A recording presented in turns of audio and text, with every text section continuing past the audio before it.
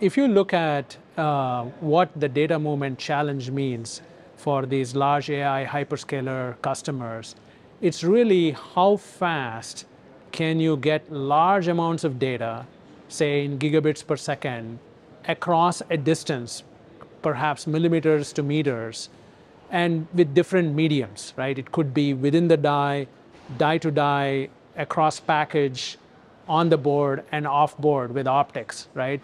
And the fundamental figure of merit that is very important is transfer the most amount of data across a large distance with the highest energy efficiency. What it means is how can you get the figure of merit from gigabits per second per millimeter times the energy efficiency, which is picojoules per bit, so that that is, you know, the holy grail is you need to transfer a lot more data with the lowest power or the highest energy. So different signaling standards are important uh, to achieve this, right? What you can do within die, let's say a short reach SerDes, uh,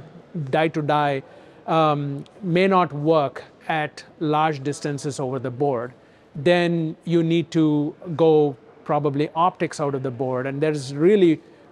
you know, four orders of magnitude that is different between off-board communications with the figure of merit to what we can do within the die. So we really have to focus on short reach, long reach, you know, medium reach, and different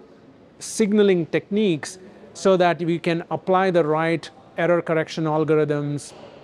you know, shaping waveforms to get the lowest latency and the lowest bit error rate. So all these technologies are important as we continue to surmount the data movement challenge in terms of the figure of merit.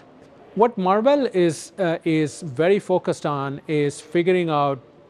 when we need to move to the advanced uh, semiconductor CMOS process technology, whether it's going from 5 to 3 and 3 to 2, and what makes sense to use a combination of chiplets, maybe have the IOs um, completely validated in low power 3 nanometer or 5 nanometer and use a core portfolio of core switching or you know compute dies which are in a different technology. So we get the best of both worlds uh, for power as well as density by having a chiplet approach. So Marvell is looking at chiplets, advanced packaging, you know, to look at the